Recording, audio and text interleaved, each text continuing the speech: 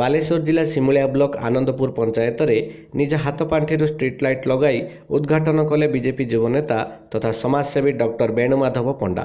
ସୂଚନାରୁ ଜଣାଯାଏ ଆନନ୍ଦପୁର ପଞ୍ଚାୟତର ଆଜିପୁର ପାଟଣା ମହମ୍ମଦପୁର ଏବଂ ଆନନ୍ଦପୁର ଚାରୋଟି ଗ୍ରାମରେ ବିଭିନ୍ନ ସ୍ଥାନରେ ଆଲୋକୀକରଣ ସୁବିଧା ନଥିବାରୁ ଗ୍ରାମବାସୀମାନେ ଆଲୋକୀକରଣ ପାଇଁ ଯୁବ ବିଜେପି ନେତା ବେଣୁମାଧବ ପଣ୍ଡାଙ୍କୁ ଅନୁରୋଧ କରିଥିଲେ।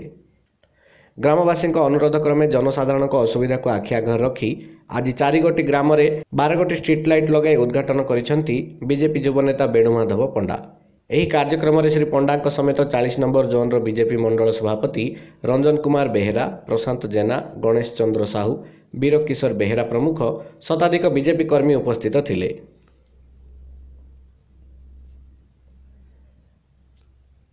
ବାଲେଶ୍ୱର ଜିଲ୍ଲା ସିମୁଳିଆରୁ ପ୍ରଫୁଲ୍ଲ ପଟ୍ଟନାୟକଙ୍କ ରିପୋର୍ଟ। ଉତ୍କଳ ଖବର।